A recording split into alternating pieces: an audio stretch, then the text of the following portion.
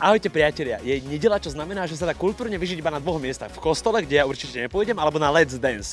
A tu sme. 9. ročník najväčšej tanečnej show na Slovensku odštartoval a na parket sa postavil okrem Johnnyho Tribulu aj Tina, Juraj Lojči, Jan Ďurica. Keď to možno, že opätovne opriem o ten šport, cítiš aj túto nejakú súťaživosť? Je to tu také, že chcem to vyhrať, alebo teda, že on je slabý, určite budem lepšie ako on? Toto by som nechcel. Toto, do takejto pozície by som to určite nechcel dávať, lebo ja som, kolekt, my sme, ja som proste v kolektíve.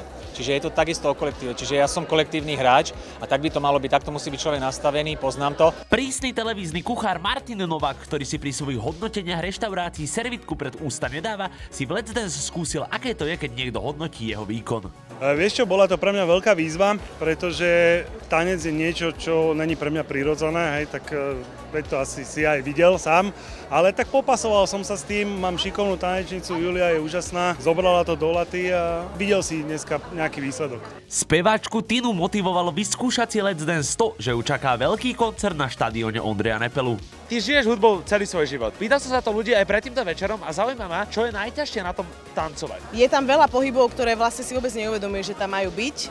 A samozrejme tam asi úplne neboli, ale sa snaha tam určite bola. Proste nie je to trafo, vieš.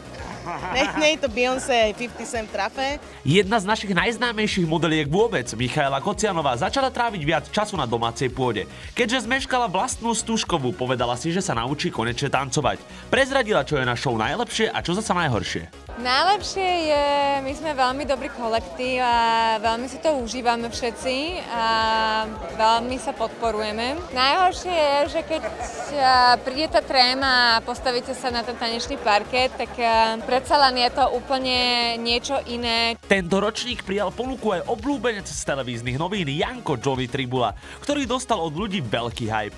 Tak ja som dlho odolával, lebo uh, som tiež tak trochu introvert a nemám rád také tie byť v žiare reflektorov. Mám rád tú takúto klasickú spravodajčinu, televízne noviny a byť takým sluhom toho spravodajstva. Ale hovorím si, že je to show, ktorú som sledoval, som verný divák Let's Dance. Tento rok máme už štandardne štyroch porodcov, pričom jeden z nich sa bude obmieniať. Na prvom večeri bol argentínsky lámač srdc Facundo Araňa, ktorý doplnil trojicu v zložení Tatiana Drexler, Jan Ďurovčík a Adela Banášová. Na koho by ste si podali? Koľko? Závisí, koľko máte. No, to by som neriskovala. Pri tom množstve peňazí to by som neriskovala. Nebudem to hovoriť, lebo fakt ešte nevieme, lebo sa to môže všelijako vyvinúť, ale ja by som určite vsadila, ja som úplne zabudla, kto tam tancuje. Večeri v Bratislavskej Ícheve hostia okrem vystupujúcich a poroty aj kopec známych tvári, ktoré možno jedného dňa uvidíme na tanečnom parkete.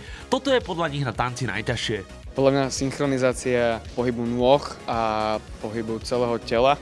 Akože vyfúkol mi to. Nič iné by som nepovedal. No pre mňa jednoznačne si zapamätať tie kroky.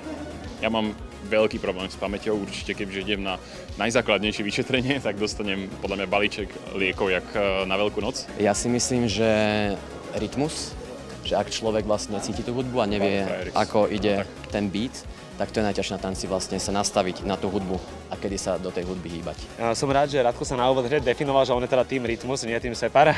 Najťažšia asi tá fyzická kondícia. Ľudia, ktorí nie sú profesionálni tanečníci, tak e, zistujú, keď prídu do takejto show, že aké je to strašne ťažké. Spoznávajú svaly a spoznávajú pohyby, ktoré v živote neurobili a dosť často to aj boli a preto je to dosť ťažké. Prvý finálový večer Let's Dance je za nami. Do komentu mi napíš, kto je tvoj favorit a aký tanec by som mal tancovať ja. Serus už ma neruš.